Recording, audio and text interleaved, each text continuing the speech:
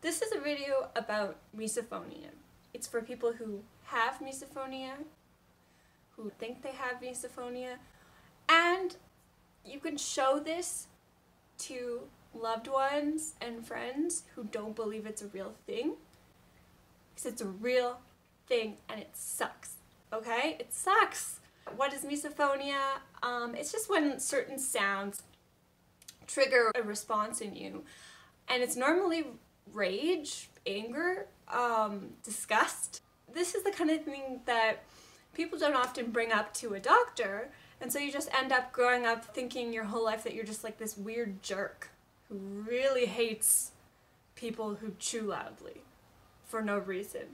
Um, but there is a reason, and it's called misophonia, and you're not a jerk.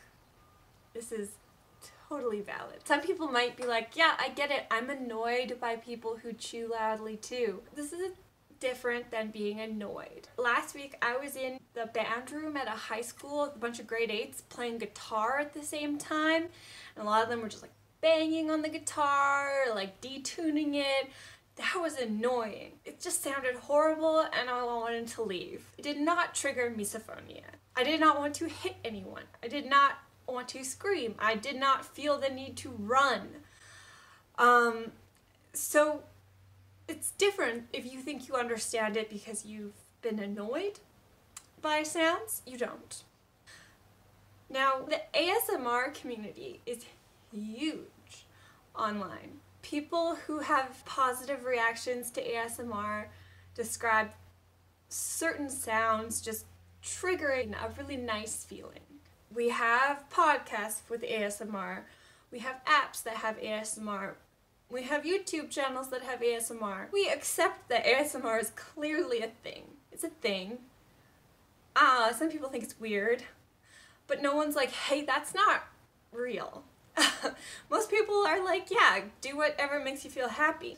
So often, these are actually the sounds that also trigger misophonia. When I listen to ASMR stuff, I freak out. Like, I'm like, turn it off right now, turn it off, turn it off, turn it off.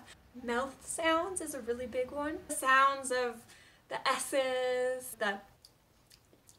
I don't know why I'm just triggering people with this misophonia thing. Slurping tea, it has been studied at this point where they can actually tell certain frequencies do trigger, you know, the rage response in the brain. The studies are not huge though. But I think at this point there's enough of us. You should just believe us. It is a horrible feeling and I would not wish it on anyone. If you are the partner of somebody with misophonia, don't be offended when they snap at certain sounds.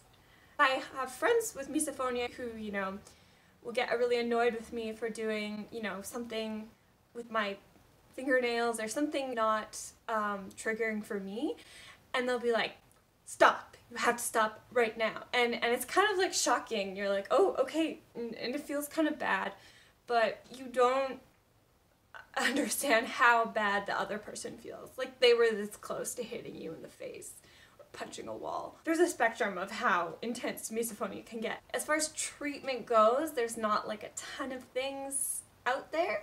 It does become worse the more anxious you are.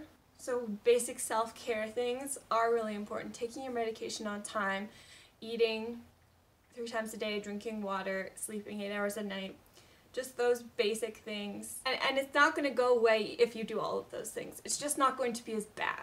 I carry around like little foam earbuds wherever I go. And I have some like right in this little box here. Sometimes things get so bad, for me especially in the morning, I don't have time to find earplugs. I have these kind of noise blocking headphones or noise blocking ear muffs or whatever. They just are really cheap and you can get them at like Home Depot and stuff. So fast to just put on. And then usually the frequency will be blocked out.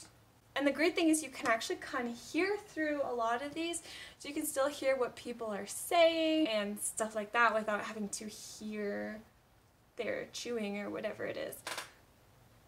If you know that this is going to happen to you at meal times, for example, just put your earplugs in at meal times. or wear your earmuffs. Do it preemptively so you don't, you know, so you don't have to go through the kind of pain that it causes you and also so you don't have to go through potentially yelling at your friends and family. Tell people misophonia is a real thing and I have it. That's why I'm wearing these headphones. If we can be cool with ASMR people like listening to people read books or whatever, then we can be cool with people with misophonia putting in earplugs for meal times. Like we can we we can do that as a society.